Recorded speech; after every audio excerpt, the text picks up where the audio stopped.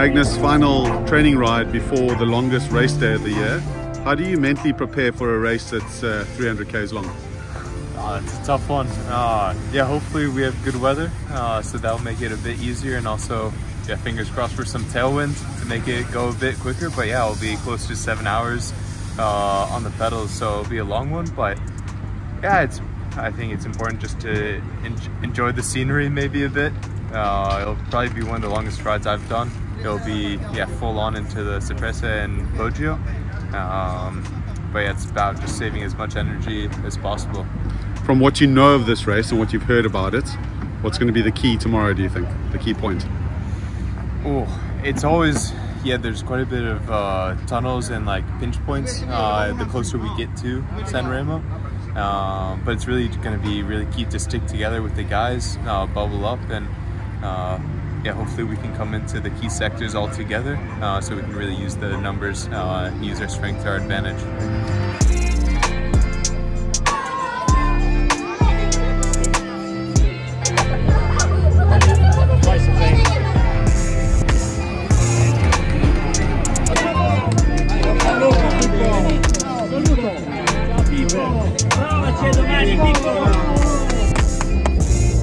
Swifty of the Cesca. You know, we've got 300k tomorrow.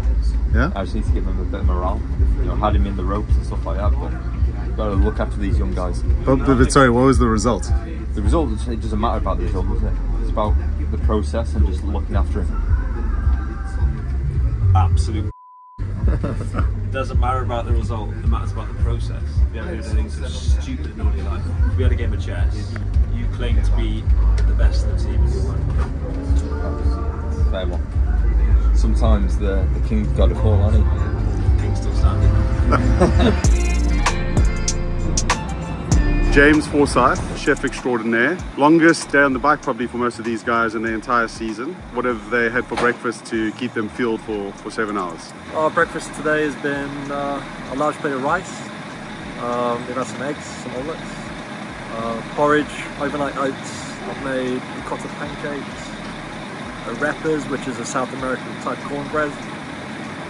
Um, we've probably had a bit of toast as well to supplement all of that. So uh, carbs all over the place. Matteo, just remind us how many Milano San Remos did you start? Uh, I think for the riders 70, 70 time, and uh, for the ash I don't remember three or four time, a, a lot. And what does this race mean to you, but also to Italy in particular? But uh, for me, it's a special, a special race because uh, Milano Sanremo the first monument of the year. Uh, today is super nice weather. Uh, I think in the end is a very good day, uh, beautiful day, long sea, and uh, yeah, long day, the more longer race of the year. I think uh, today is a good day for us. And what is the morale in the in the team like in the group of riders? No, the group uh, I have uh, super seven strong riders. Uh, Filippo already, also Kwiatkowski have a good uh, Tirreno Adriatico, but uh, in general I have um, the, group, the group is super uh, strong and they're ready for the for the final. Swifty, a lot of experience on this bus for Milan San Remo, but you've got three debutants. What would your word of advice be to to Kim, Johnny, and to Magnus? get ready for a long day. You know, it's like it's a long day, day in terms of kilometers, but the hours is all right, still quite long, but it's not like uh, a Flanders or something like that. And we do a lot of long days of training as well, but uh, it's different. It's a bit boring at the start, so you've got to handle that as well, and then it just progressively gets quicker. So You've been twice on the podium here. Um, what does this race mean to you? it's special, you know. It's uh, it's one of the first races that saw I was capable of results like that. So you know, we've got guys that have won it as well, so it's going to be a good day, and uh, we're ready to give it a good go.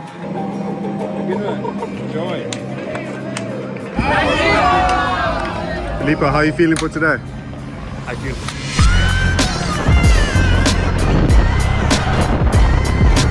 Warm early spring sunshine for the 114th edition of Milan San Remo, 294 kilometres from Abbiategrasso to the traditional finish on the coast in San Remo. It was Jumbo Visma and Wout van Aert who finally brought the breakaway back And then on to the Poggio. UAE Team Emirates took it up by Tim Wellens, setting up a big move from Tadej Pogacar with 6.6 kilometres to go. Pogacar, close to the top then, continued to apply the pressure, this time prizing a group of four riders clear, including Filippo Ganna, who got round Søren Kragh Andersen, Wout van Aert and Mathieu van der Poel.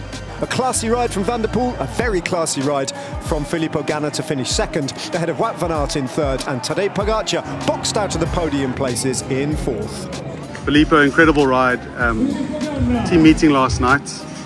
There was a clear plan and it nearly came off today.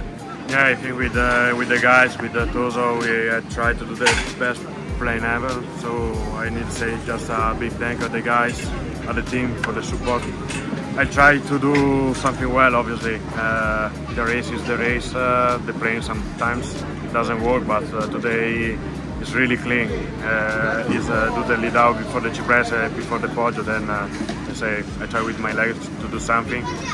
Just uh, Mathieu is uh, arriving in the front, but uh, yeah, I can say just thank you to the guys, the team, and uh, we see you next week.